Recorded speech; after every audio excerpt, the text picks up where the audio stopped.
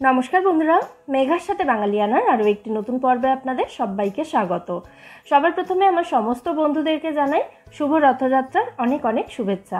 আজ যেহেতু রথযাত্রা, সেই জন্য রথযাত্রা স্পেশাল মুচমুচে রসালো খাজার রেসিপি আপনাদের সাথে শেয়ার করছি।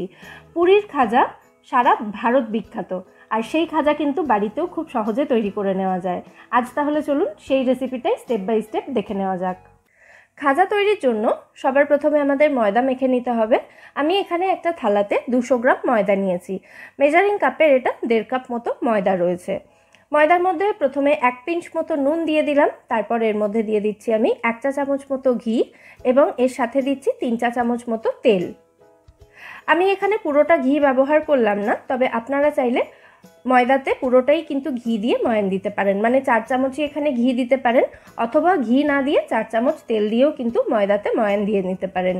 আমি অল্প একটু ঘি দিলাম, তাতে পুরোটা ঘি ব্যবহার করতে হলো না, অথচ খাজার মধ্যে ঘিয়ে সুন্দর একটা ফ্লেভার থাকবে। ময়দার মধ্যে ময়ানটাকে খুব ভালো করে মিশিয়ে নিতে হবে, হাতের মধ্যে এভাবে ঘষে ঘষে। ময়নের পরিমাণটা ঠিক হয়েছে কিনা বোঝার জন্য কিছুটা ময়দা হাতের মধ্যে এভাবে মুঠো করলে, যদি দেখেন এরকম দলা পাকিয়ে যাচ্ছে, তারপর একটু আঙুল দিয়ে চাপ দিলেই ঝুরঝুর করে ভেঙে পড়ে যাচ্ছে বালির মতো, তাহলে বুঝতে হবে ময়দাতে ময়নের পরিমাণ একদম ঠিক আছে। আর যদি দেখেন এরকম হচ্ছে না, তাহলে আর একটু তেল বা ঘিয়ের মধ্যে মিশিয়ে নিতে পারেন। এবার আমি অল্প অল্প করে জল দিয়ে এই ময়দাটা মেখে একটা ডো তৈরি করে নেব। আর ডোটা রেগুলার আমরা রুটি পরোটা বানানোর জন্য যেরকমভাবে ডো তৈরি করি, আটা বা ময়দা দিয়ে, তার থেকে একটু টাইট করে ডোটা তৈরি করতে হবে। তবে খুব বেশি টাইট নয় কিন্তু। রেগুলার রুটি পরোটার জন্য আমরা যেরকম ডো তৈরি করি, তার থেকে একটু টাইট করে এই ডোটা তৈরি করতে হবে। দেখুন, আমাদের ময়দার ডোটা রেডি এবার এটাকে ঢাকা দিয়ে রেখে দেব। আধ ঘণ্টা মতো যদি হাতে সময় কম থাকে, দশ পনেরো মিনিটও রাখতে পারেন। এবার আমি খাজার জন্য সুগার সিরাপ বা চিনির রসটা তৈরি করে নিচ্ছি। একটা কড়াইতে আমি এখানে দুশো গ্রাম চিনি নিয়েছি। এটা মেজারিং কাপের এক কাপ চিনি রয়েছে। আর এক কাপ চিনির জন্য এক কাপের একটু কম পরিমাণে আমি জল দিয়েছি। জলটা অলরেডি ফুটতে শুরু করেছে। একটু নাড়াচাড়া করে এটাকে মিশিয়ে দিচ্ছি। তারপর এর মধ্যে দিয়ে দেবো আমি হাফ চা চামচ মতো এলাচ গুঁড়ো। এলাচ গুঁড়ো না থাকলে গোটা ছোট এলাচ মুখটা ফাটিয়ে আপনারা এখানে ব্যবহার করতে পারেন দু তিনটে মতো, তাতেও কিন্তু সুগার সিরাপটা সুন্দর ফ্লেভারফুল হবে। পাঁচ থেকে ছ মিনিট মিডিয়াম ফ্লেমে এই চিনির রসটাকে আমাদের ফুটিয়ে একটু ঘন করে নিতে হবে। পাঁচ ছ মিনিট ফোটানোর পর দুটো আঙুলের মধ্যে সুগার সিরাপটা নিয়ে এভাবে চেক করে নেবেন। যদি দেখেন এরকম একটা তার তৈরি হচ্ছে একটাই তার তৈরি হচ্ছে, দেখুন। খেয়াল করলে বুঝতে পারবেন। এরকম একটা তার তৈরি হওয়া পর্যন্ত সুগার সিরাপটা ফুটিয়ে নেওয়ার পর গ্যাসের ফ্লেমটা অফ করে এটাকে ঢাকা দিয়ে রেখে দিতে হবে। আর কিন্তু এটাকে বেশি গাঢ় করা যাবে না। এক তারে সুগার সিরাপই খাজার জন্য একদম পারফেক্ট। এদিকে প্রায় আধ ঘণ্টা ঢাকা দিয়ে রাখার পর আমাদের ময়দার ডোটা এখন ভালো মতো সেট হয়ে গেছে। এটাকে পাঁচ থেকে ছ সেকেন্ড মতো আরও একবার হালকা হাতে আমি মেখে নিচ্ছি। তারপর এই ডোটাকে সমান ছটা ভাগে আমি ভাগ করে নেব। মানে এই ডোটা থেকে সমান সাইজের ছটা লেচি আমি কেটে নিয়েছি। রেগুলার রুটি বানানোর জন্য যেরকম সাইজের লেচি কাটি, ঠিক সেই রকম লেচি আমি কেটে নিয়েছি। এবার এই এক একটা লেচি আমি বেলে নেব রুটির মতো করে, আর বেলার জন্য আমি এখানে শুকনো ময়দা ছড়িয়ে নিয়েছি। একদম রুটি যেরকমভাবে আমরা বেলে নিই সেই রকম পাতলা করেই এটা বেলতে হবে। প্রথমটা বেলা হয়ে গেছে, আমি তুলে এটা থালার মধ্যে রেখেছি, আর একই রকমভাবে বাকি পাঁচটা লেচিও আমি এখানে বেলে রেডি করে নিয়েছি।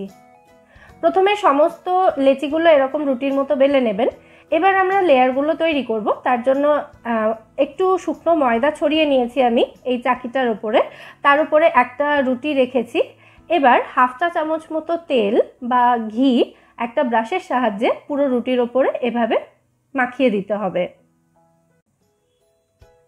ঘি মাখানোর পর এর মধ্যে কিছুটা শুকনো ময়দা এরকমভাবে ছড়িয়ে দিতে হবে।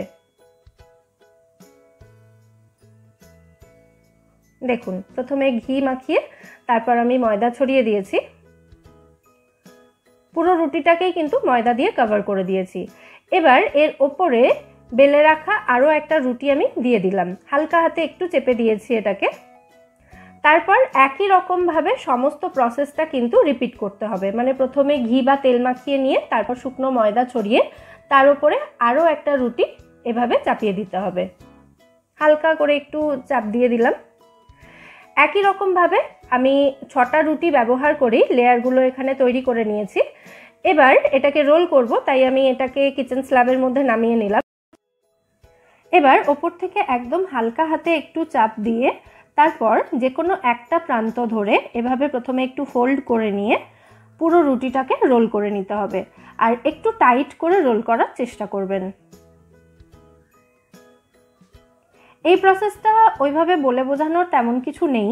জাস্ট যেভাবে আমি দেখাচ্ছি ভিডিওতে সেভাবে এটাকে রোল করে নিলেই হবে। একটু টাইট করে রোল করলেই হবে শুধু। শেষ প্রান্তটায় সামান্য একটু জল লাগিয়ে নেবেন। তাহলে কিন্তু এটা খুলে যাওয়ার চান্স থাকবে না। সামান্য একটু জল লাগিয়ে দিলাম আমি, তারপর বাকি রুটিটাকেও রোল করে নেব। সমস্ত রুটিতে কিন্তু আমি এখানে জল লাগাইনি। প্রথমটা এবং তার নিচে যেটা ছিল সেই রুটিটাতে জল লাগিয়েছি। একটু এভাবে হাত দিয়ে চেপে দিচ্ছি রোল করার পর তারপর একটু গড়িয়ে নিচ্ছি।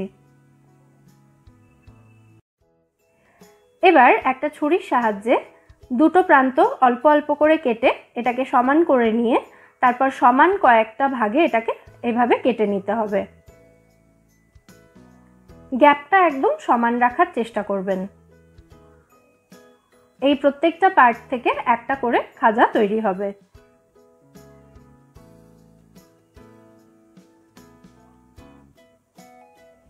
দেখুন, লেয়ারগুলো খুব সুন্দর বোঝা যাচ্ছে এখানে। এগুলোকে সরিয়ে নিচ্ছি।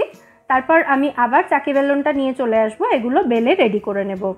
একটু শুকনো ময়দা ছড়িয়ে এই প্রত্যেকটা লেচি এভাবে একটু আঙুল দিয়ে চেপে চ্যাপটা করে নিয়ে তারপর এটাকে লম্বা করে বেলে নিতে হবে। আর বেলার সময় কিন্তু একদম হালকা হাতে এটাকে বেলতে হবে, তা না হলে কিন্তু লেয়ারগুলো চেপে যাবে। ভাজার সময় লেয়ারগুলো খুলবে না, তো সেই কারণেই একদম হালকা হাতে এভাবে এটাকে বেলে নিতে হবে।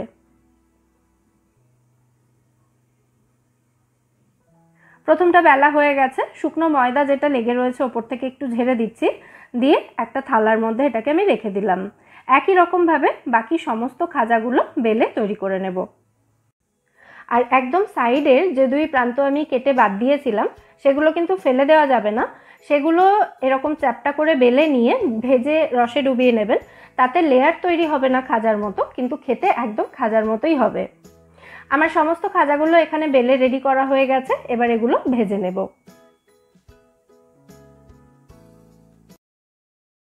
খাজাগুলো ভাজার জন্য একটা কড়াইতে আমি পর্যাপ্ত পরিমাণে তেল নিয়ে একদম লো ফ্লেমে তেলটা গরম করতে বসিয়ে রেখেছি। এবার তেলের টেম্পারেচারটা চেক করার জন্য ডোয়ের একটা ছোট্ট বল আমি তেলের মধ্যে দিয়ে দিলাম। বলটা দেওয়ার সাথে সাথেই দেখুন বলের গা থেকে ছোট ছোট বাবলস উঠতে শুরু করেছে, কিন্তু বলটা তেলের ওপরে সঙ্গে সঙ্গে কিন্তু ভেসে উঠছে না। প্রায় ন থেকে দশ সেকেন্ড পর আস্তে আস্তে বলটা তেলের ওপরে ভেসে উঠছে। তার মানে তেলটা কিন্তু একদম হালকা গরম রয়েছে আর এরকম হালকা গরম তেলেই খাজাগুলো ছাড়তে হবে ভাজার জন্য। তেলের টেম্পারেচারটা কিন্তু ভীষণই গুরুত্বপূর্ণ খাজাগুলো মুচমুচে হওয়ার জন্য। তাই জন্য এরকমভাবে ডোয়ের ছোট্ট বল দিয়ে কিন্তু অবশ্যই তেলের টেম্পারেচারটা চেক করে নেবেন। এরকম হালকা গরম তেলেই আমি খাজাগুলো দিয়ে দিচ্ছি ভাজার জন্য। আর দেওয়ার সাথে সাথেই দেখুন খাজাগুলো ডুবে গেছে তেলের নিচে। আস্তে আস্তে যখন দেখবেন খাজাগুলো তেলের ওপরে ভেসে উঠছে, তখন এগুলোকে হালকা হাতে উল্টে দিতে হবে। আর খাজাগুলো ভাজার সময়ও কিন্তু গ্যাসের ফ্লেমটা একদম লোতেই রাখতে হবে। আস্তে আস্তে দেখুন খাজার যে লেয়ারগুলো লেয়ারগুলো কিন্তু সুন্দর খুলতে শুরু করেছে। দেখেই বোঝা যাচ্ছে লেয়ারগুলো বেশ প্রমিনেন্টও হয়ে গেছে এবং সুন্দর গোল্ডেন কালার আসতেও শুরু হয়েছে। প্রায় পনেরো মিনিট একদম লো ফ্লেমে রেখে ভাজার পর এখন দেখুন খাজাগুলো সুন্দর গোল্ডেন কালারের হয়ে গেছে। এবার আমি খাজাগুলো তেল ঝরিয়ে তেল থেকে তুলে নিচ্ছি। তবে গরম অবস্থাতেই কিন্তু খাজাগুলো সুগার সিরাপের মধ্যে দেওয়া যাবে না, তাহলে খাজাগুলো নরম হয়ে যাবে কিছুক্ষণ পরেই। তাই খাজাগুলো একটু ঠান্ডা হওয়ার জন্য অপেক্ষা করব। আর এই সময় আমি আরও একটা ব্যাচ খাজা এখানে ভেজে নেব। পরের ব্যাচে একসঙ্গে আমি তিনটে খাজা দিয়ে দিলাম ভাজার জন্য। প্রায় দশ মিনিট মতো রুম টেম্পারেচারে রাখার পর আমাদের প্রথম ব্যাচের খাজাগুলো এখানে অনেকটাই ঠান্ডা হয়ে গেছে এখন। জাস্ট হালকা একটা গরম ভাব রয়েছে খাজাগুলোর মধ্যে। আর প্রত্যেকটা খাজার লেয়ারগুলো দেখুন, খুব সুন্দর প্রমিনেন্ট হয়ে রয়েছে। এরকম হালকা গরম থাকা অবস্থায় খাজাগুলো চিনির রসের মধ্যে দিতে হবে। আর চিনির রসটা কিন্তু এই সময় পুরোপুরি ঠান্ডা হয়ে গেছে। এরকম ঠান্ডা চিনির রসের মধ্যে হালকা গরম খাজাগুলো দিয়ে কুড়ি থেকে পঁচিশ সেকেন্ড এগুলো চিনির রসের মধ্যে রেখে দিতে হবে। আর চিনির রসের মধ্যে বারবার খাজাগুলোকে এভাবে উল্টে দিতে থাকতে হবে, তাতে খাজার প্রত্যেকটা লেয়ারে চিনির রসটা ভালোভাবে অ্যাবজর্বড হবে। প্রায় কুড়ি পঁচিশ সেকেন্ড মতো রাখার পর আমাদের প্রথম খাজাটা এখানে একদম রেডি হয়ে গেছে। এটাকে আমি চিনির রস থেকে তুলে নিচ্ছি। আর একই রকমভাবে বাকি সমস্ত খাজাগুলো আমি রেডি করে নেব। চাইলে একসাথে তিন চারটে খাজাও আপনারা চিনির রসের মধ্যে দিয়ে দিতে পারেন। তবে খেয়াল রাখতে হবে যাতে ধাক্কা লেগে খাজাগুলো ভেঙে না যায়। আর এরকমভাবে চিনির রস থেকে তুলে নেওয়ার পর এই খাজাগুলো আপনারা কোনো এয়ারটাইট কন্টেনারে ভরে স্টোর করে রেখে দিতে পারেন। দু তিন সপ্তাহ এগুলো এরকমই মুচমুচে থাকবে। আমাদের সমস্ত খাজা এখানে একদম রেডি হয়ে গেছে সার্ভ করার জন্য। প্রত্যেকটা খাজার লেয়ারগুলো দেখুন। এবার একটা খাজা আমি এখানে ভেঙে দেখিয়ে দিচ্ছি, খাজাগুলো কতটা মুচমুচে হয়েছে। দেখেই বুঝতে পারছেন। আর লেয়ারগুলো আমি এখানে খুলে দেখিয়ে দিচ্ছি, প্রত্যেকটা লেয়ারে চিনির রসটা কত সুন্দরভাবে অ্যাবজর্ব হয়েছে। তাহলে এই সমস্ত টিপস অ্যান্ড ট্রিক্সগুলো ফলো করে আপনারা যদি খাজা তৈরি করেন, আপনাদের খাজাও কিন্তু এরকম পারফেক্ট হবে। অবশ্যই বাড়িতে ট্রাই করবেন এবং আমায় জানাবেন এই খাজার রেসিপি আপনাদের কেমন লাগল। রেসিপি যদি ভালো লেগে থাকে, ভিডিওটাকে বরাবরের মতো একটা লাইক এবং শেয়ার করে প্লিজ আমার চ্যানেলটা সাবস্ক্রাইব করে নেবেন যদি এখনও না করে থাকেন। ফিরে আসব নতুন কোনো রেসিপি নিয়ে। সবাই সুস্থ থাকবেন, ভালো থাকবেন এবং সবাইকে খুব ভালো রাখবেন।